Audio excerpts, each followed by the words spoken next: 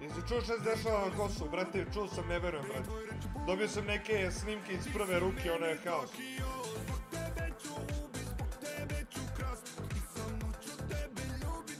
A gdje bre, kaže, Kosovo je danas deo Srbije, burez, Kosovo je od uvek Srbija. My guy, my guy.